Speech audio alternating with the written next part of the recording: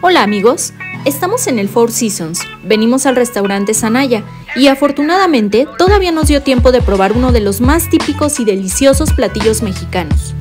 Comenzamos con una muse para abrir el apetito de mole poblano. Como plato fuerte, pedimos un chile en nogada, elaborado con carne de conejo, capeado en panco, con la salsa nogada clásica, con una ligera coloración rosa. Estaba delicioso. También acompañamos con unas tostadas de pulpo. Y como nos quedamos con hambre, terminamos con unos clásicos tacos de pato. Y claro, el postre no puede faltar.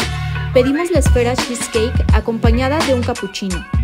Si quieres saber más de este lugar, visita nuestro canal y suscríbete. Ahí tenemos muchas opciones para que puedas visitar. Te dejamos los precios al final de este video. Hasta la próxima.